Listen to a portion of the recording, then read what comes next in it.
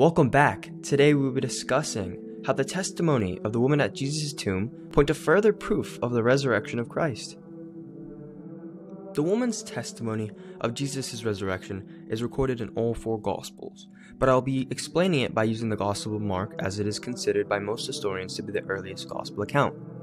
Now, Mark records it as such When the Sabbath was over, Mary Magdalene and Mary, the mother of James, and Salome brought spices so that they might go and anoint him. And very early on the first day of the week, when the sun had risen, they went to the tomb. They had been saying to one another, Who will roll away the stone for us from the entrance to the tomb? When they looked up, they saw that the stone, which was very large, had already been rolled back. As they entered the tomb, they saw a young man dressed in a white robe, sitting on the right side, and they were alarmed. But he said to them, Do not be alarmed. You are looking for Jesus of Nazareth who was crucified. He has been raised. He is not here. Look, there is the place they had laid him. But go, tell his disciples and Peter that he is going ahead of you to Galilee. There you will see him, just as he told you. What we have here is a recording of the events of Jesus' resurrection witnessed purely by the woman.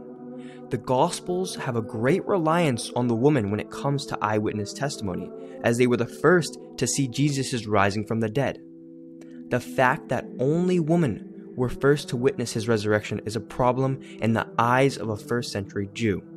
And for that reason, we turn to the Jewish historian Josephus.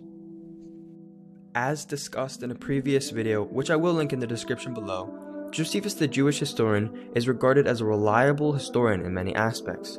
The quote I will be using from him comes from Book 4 of the Antiquities of the Jews, in which Josephus records, But let not a single witness be credited, but three or two at the least, and those such whose testimony is confirmed by their good lives. But let not the testimony of women be admitted, on account of the levity and boldness of their sex. In this quote, Josephus is recording on what basis should eyewitness testimony be trusted. Towards the end, Josephus then states that the testimony of women should not be trusted and or admitted as reliable purely based on the account of their gender. This obviously shows that woman's value was deemed lesser by men in the first century. Celsus, a Greek philosopher and writer in the 200s AD, attacks Jesus' resurrection by stating, Who beheld this? A half frantic woman, as you state.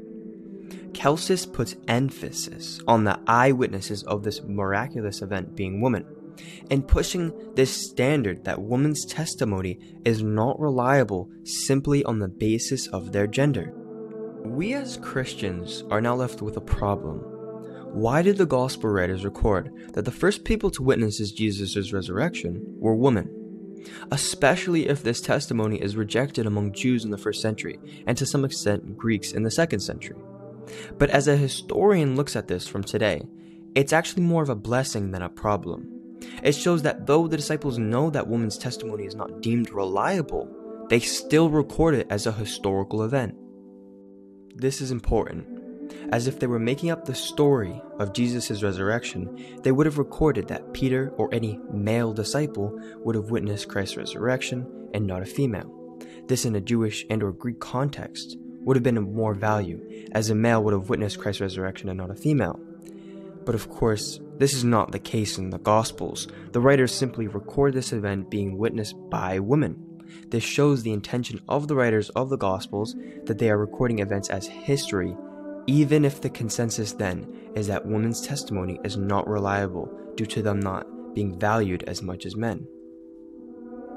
Thank you for watching this week's video. I hope you enjoyed the intertwining of outside historical sources and then contrasting them with biblical accounts as well left the outside sources in the description below, so as always, I recommend you check them out and create an opinion for your own. If you enjoyed the video, like, subscribe, and God bless.